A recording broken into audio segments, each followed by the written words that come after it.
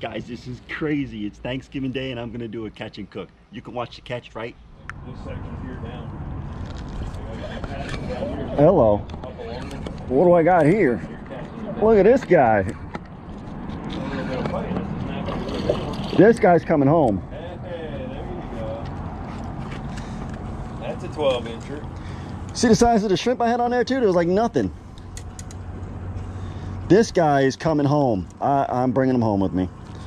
Snapper is what's for dinner. Spicy chocolate mangrove. What everybody Snap. happy Thanksgiving.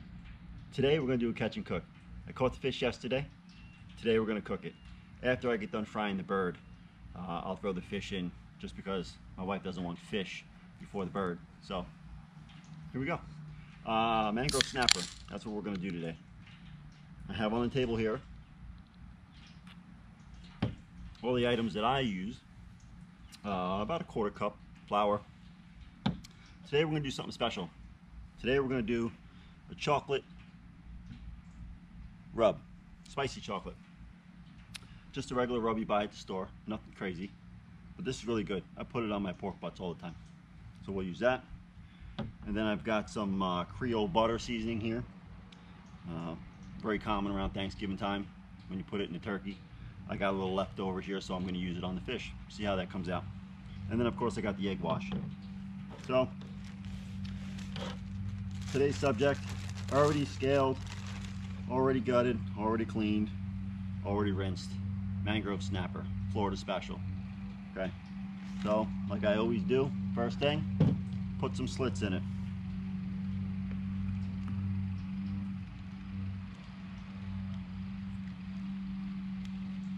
Both sides.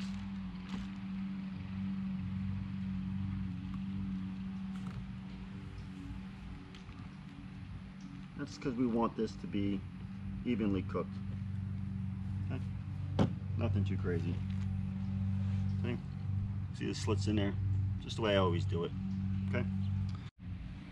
Okay. So first thing we're going to do is we're going to put the flour and the chocolate together, mix it up. So we'll give our first wash. Forgive me, again, it's Thanksgiving. My wife used every plate and bowl and silverware in the house, so I'm reserved to using Rubbermaid Tupperware. Anyway, here's the flour. Put that in there. The chocolate rub, put that in there. And we're gonna go ahead and mix it up, okay? Uh, you wanna get it as evenly as possible. Just take your fingers, your spoon, your fork, whatever you wanna use, and get that nice and mixed up just like that, okay? Nothing too crazy. Then we're gonna take this Creole butter, and we're just gonna wash it.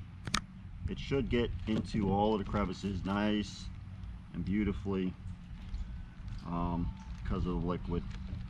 But just fold up, get everything in there nice, both sides. Now this we're going to use, this is going to act like the butter wash, or the butter, the uh, egg wash does with milk. Except for the first one, just to get the initial dusting on there. I'll put a little on the inside too, just for flavoring, not necessarily for buttering. Okay? And we'll take it and we'll drop it in there. Get it pressed down, get it on both sides. Nice and dusty. And my napkin flew away. Okay? There you go. Nothing too crazy, just to get it started. Okay? And the next thing we're gonna do is we're gonna put the egg wash on there. This is uh, not something you would normally do. This is just a, a quick throw together video. So it's gonna be a little sloppy, but that's okay. Who cares? Huh? Wife's inside, I'm outside. I make a mess outside, not inside. She ain't gonna yell at me. Happy wife, happy life. At least that's what they say. All right, so we've got the egg wash on there. We're gonna do what we did before. We'll dip it again. This time we want to get that stuff all over it. Pat it down, get it nice and crusty. So what's gonna happen is when we fry this thing, it's gonna have a amazing crusty, crispy outside. Absolutely delicious. I'll just take this and get all the places that I missed, including the tail. That, as we know already from previous videos, is my favorite part. Nothing better than a crispy fishtail. Pat that on there nice and thick.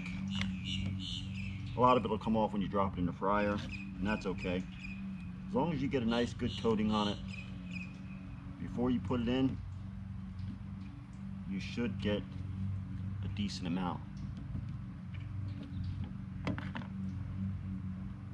of crust and deliciousness on the outside.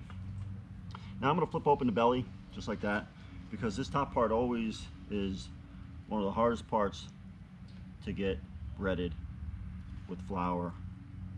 So when you stand it up like that, you take the belly and you open it up, it holds itself up. So you can ensure that the entire fish gets a nice even co coating of whatever seasoning you put on there. All right, folks, like I said, again, it is Thanksgiving. Everything's set, done. All I have to do now is wait for the bird to finish. Then I can finish the rest of this video. Gonna be a little darker than it is now. I do apologize, but priorities, bird comes first. So don't go nowhere. It's gonna be delicious. All right, here's the bird. Priorities. I gotta drop this first.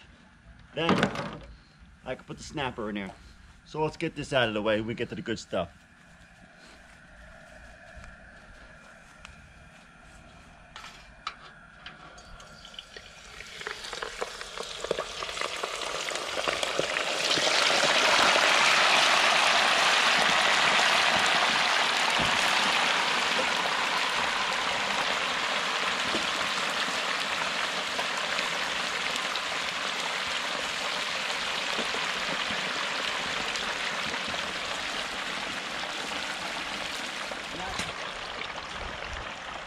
All right.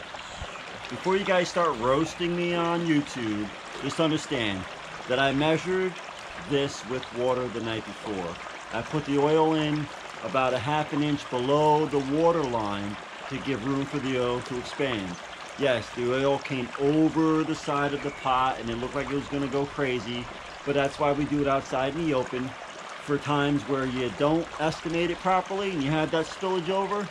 And if you get the flare up, which we didn't get, which is good, but in the event you get the flare up, you're not gonna burn your house down.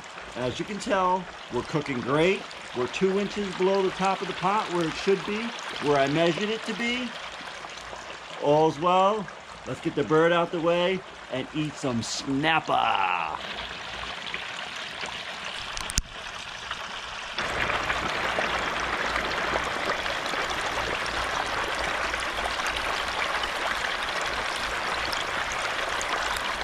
All right.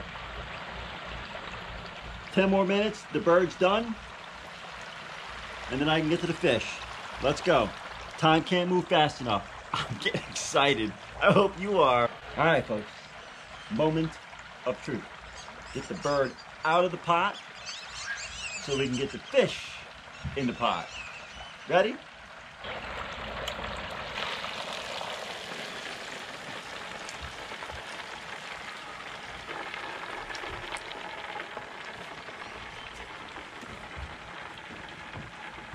I apologize.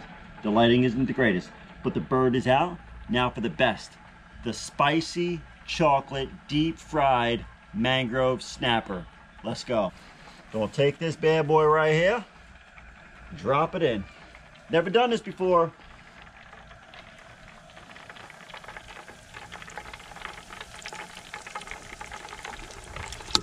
We'll let that sit. When it floats, it's done. At least that's what I've been told. See you in a minute. All right. I'm gonna go bobbing for fish. Normally you bob for apples. Today we bob for fish.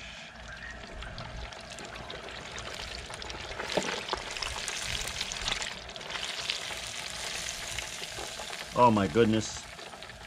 Oh my goodness, it's falling apart. Oh. Where is it?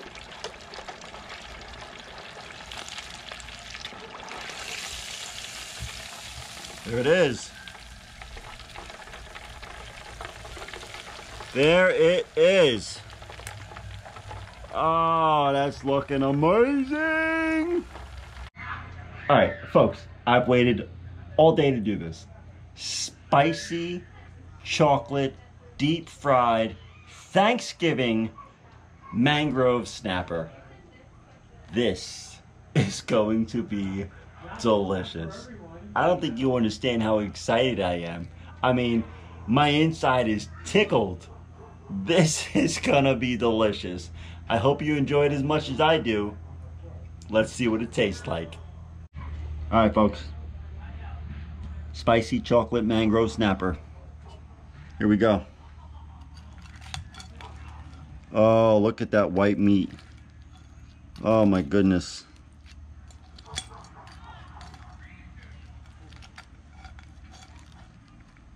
Here we go. Oh my god. Oh my god. You need to try this.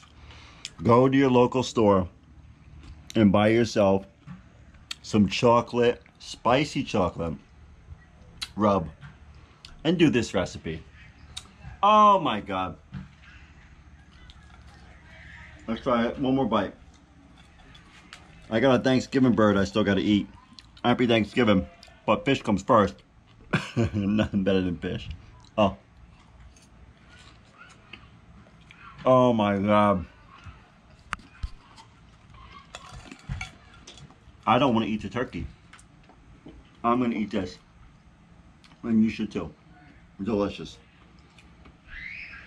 Listen, I appreciate you guys watching me, following along. Hopefully you're trying my recipes. Thank you so much. Keep watching, and I'll see you on the next one. Happy Thanksgiving.